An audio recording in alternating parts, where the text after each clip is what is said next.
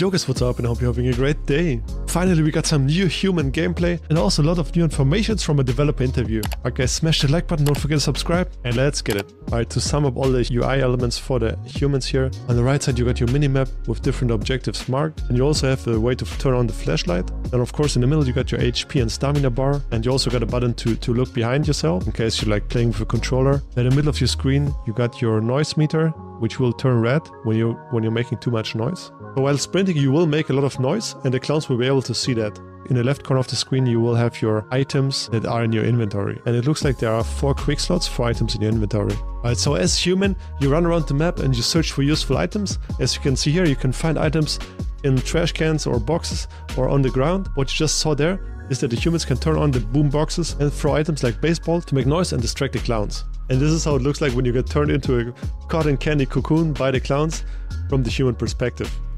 It appears that you can smash the E button to, to die faster, it seems like.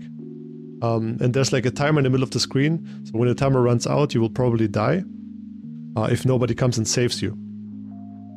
To save you, you will need a knife or a sharp object to, to save the humans from those cocoons, as you can see here on the screen. So you got your usual HP bar in the middle, then below that you got the stamina bar, uh, which will turn completely red when it runs out with like a kind of explosion and I don't know what it means exactly. So I think you can you have to wait for a couple of seconds then before you can start sprinting again and before it starts regenerating. That's how I understand it. Like when you completely deplete your stamina, you have to wait like a couple of seconds.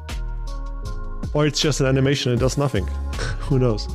Let me know if you know anything about that mechanic. So the developers also talked about that there will be a progression system in the game, and I think we are definitely going to get perks as well, because in Friday the 13th there were a lot of perks as well. They also touched on the topic cosmetics, they revealed that the female humans will also have pigtails, which is kinda cool, fitting that 80s vibe, and on the clown side, Shorty will be the one with the most customization options. Using guns as a human in this game is really really strong as you can see here. He has a gun and he wants to get some kills and he finds a clown who's carrying a cocoon. And he's shooting, oh, he misses. And one, I think, yeah, just two hits. And now he's trying to save the human from the cocoon with a knife, as you can see in this animation, but he doesn't quite make it. Yeah. And he's getting, he's getting boxed, man, in the face. Yeah, he's trying, trying to make a run for it around the building. He's gonna try again, right? Does it save escape progress? I don't think so. The clown's just getting two-shot by this pistol, and this seems really, really OP. So we have to see how balanced this is gonna be. The developers said it's gonna be a high risk and high reward kind of thing. It's probably pretty hard to get the weapons and the ammunition in sufficient amounts so that you can use it regularly. So you might want to save your ammunition or when you really, really need them to make an escape or to save another human player from dying, anything like that. Like really game-changing stuff. So don't just shoot the clowns whenever you see them. But we'll have to see how they are going to balance that out and if it's going to be too strong or if it's going to be just right. And this is what they said to the maps that we're going to get in the game. So we have uh, uh, Hillside, which is announced, and then we have a few other maps that are not announced that definitely have. Each one has a completely different style. Like we, you know, we've we've we've really, really learned over the past two games. Like you have to make the the map not only visually look different, but it has to really play differently. So we're gonna get the carnival map and the hillside map, as well as other maps that are not announced yet. So each map will be really different and unique, and according to them, every map will feel and play extremely different, which is great to hear. And one big topic they were talking about was the card system.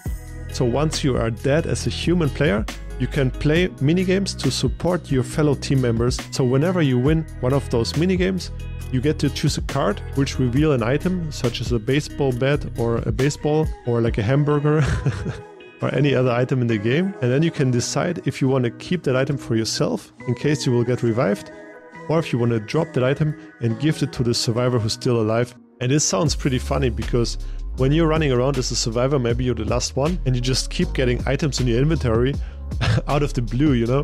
Like your teammates just drop your stuff in there and, and that's gonna be really useful, right? So maybe you're hiding in a bush, and then your teammate drops you a baseball. You can throw that thing to distract the clowns from the exit and then make an escape. This mechanic can come in clutch. Alright, here you can see him playing the minigame. Um, I think he has to get like the right aura, like the picture above that. Yeah, he nearly got it right, but not quite. Alright, so this is how it looks when you when you play those minigames while spectating as well. And I think you have to do the minigames in a short amount of time. Like there's a timer to it, I think. Oh, look at that, he just dropped your baseball bat. And then there's a minigame where you have to throw these basketballs and you get like time for that or points. I'm not quite sure. Yeah. They just throw those balls in the in the nets, okay? Yeah, you, you get like minus five seconds, minus one seconds for that. So I think this will just add to the timer, which is running like below. Uh, and the faster you finish the minigame, the faster you will get like the card, right? Then you get the card. Oh, he got a baseball for her. I don't know if he took it or gave it to her. Um, next minigame is Whack a Clown.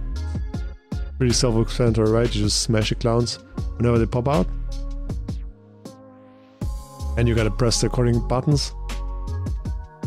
And then you get a card. There we go. Hamburger. Oh, what is that? Yeah, give player hamburger, right? This is what it said, right? yeah, there's a bunch of those games. Alright, one thing I wanted to touch on as well is how you're gonna heal.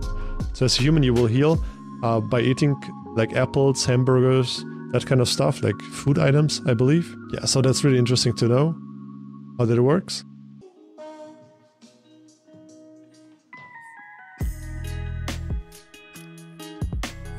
Oh, and the humans can see the cocoons that are transported. So he's throwing something to distract and tries to, to rescue them, but it doesn't really work. And then he gets smashed by Shorty.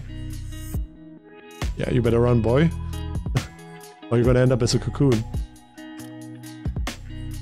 Yeah, he's running.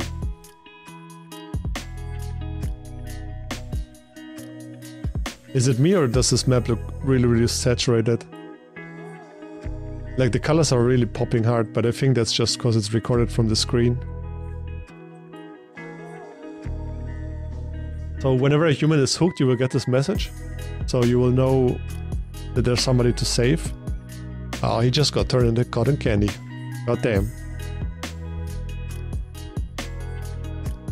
Alright guys, let me know your thoughts in the comments down below. Are you excited for the game? And are you gonna get it when it comes out? I hope to see a lot of more gameplay soon. I will keep you guys updated as well. Don't forget to smash the like button and subscribe to my channel so you don't miss anything on Killer Klowns from Outer Space. I see you in the next one. Peace.